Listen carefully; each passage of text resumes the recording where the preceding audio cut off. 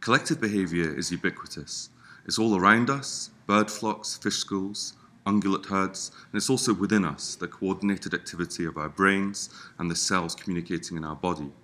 And yet, we still have only a very rudimentary understanding of both how and why animals coordinate collective behavior. And we're particularly interested in the aspects of information transmission and communication among individuals in animal collectives. This experiment was conducted in coastal Louisiana on the estuarine habitats of the lower Mississippi River, near the confluence of the Gulf of Mexico. These estuarine habitats are characterized by shallow water depth, generally less than about a meter. They're highly productive ecosystems and characterized also by high turbidity. Now this high turbidity, of course, makes the use of optical methods quite difficult and a challenge for observing in situ interactions. So in response to this environmental constraint, we've employed a high frequency lens-based imaging sonar. It operates at nearly 2 megahertz. This instrument is called a DIDSON. In essence, it's an acoustic camera, and this camera allows us to observe behavioral interactions at high spatial and temporal resolution in situ. And these productive estuarine habitats also serve as important nursery and feeding grounds for many estuarine fishes. Notably in this experiment, the two dominant species observed were the voracious piscivore, the spotted sea trout, and their prey, the juvenile Gulf menhaden, whose interactions we observed and report on in this paper. The highly dynamic interactions between these species make this a very interesting case for studying collective behavior. And using the sonar technology, we can see these interactions in high turbidity environments like ours.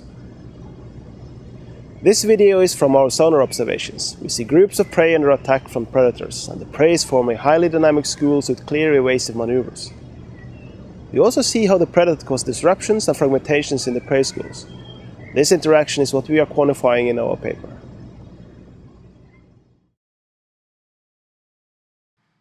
This is a great dataset, full of information and we use multiple methods to extract it. After careful filtering of the images, we get an estimation of the positions of the fish. A simple convex hull is not appropriate for finding the boundaries of fish schools with irregular shapes.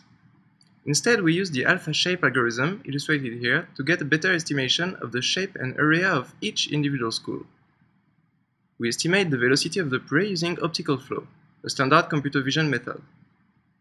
Since there are less predators and they are more visible, we track them manually and we estimate their velocities from the spline trajectories.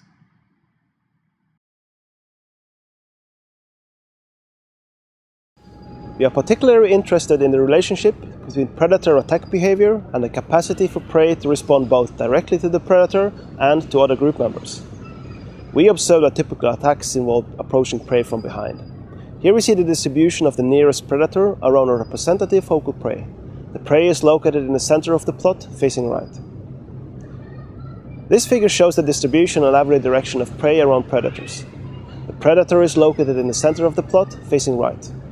The arrows shows the average direction of all prey surrounding the predator. Note that their prey are rarely closer than 20 cm to the predator. We are interested in the information transfer through the school, and in panel A, we see how far the prey's swimming velocity is correlated within a school. And in panel B, we show how these correlation lengths increase with increased group size, indicating that information transfer is more efficient in larger schools. We also show that the risk for individual prey, given as a school size divided by the number of close predators, is substantially higher for smaller schools.